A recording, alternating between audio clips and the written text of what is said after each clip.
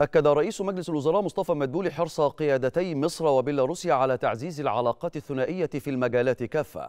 وخلال مؤتمر صحفي مشترك مع نظيره البيلاروسي رومان جولوفيتشينكو بالعاصمة الإدارية أعرب مدبولي عن تطلعه إلى استمرار وتيرة الزيارات المتبادلة رفيعة المستوى بين البلدين خلال المرحلة المقبلة. في إطار حرص القيادة السياسية للبلدين على تعزيز العلاقات الثنائية في كافة المجالات.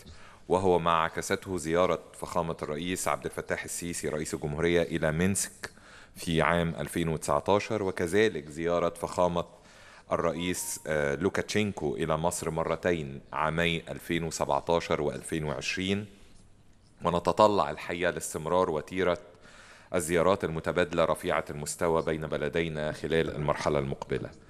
ويسعدني أن أؤكد على أن العلاقات الوثيقة بين بلدينا تمتد إلى كافة المجالات التجارية والصناعية والاستثمارية والسياحية.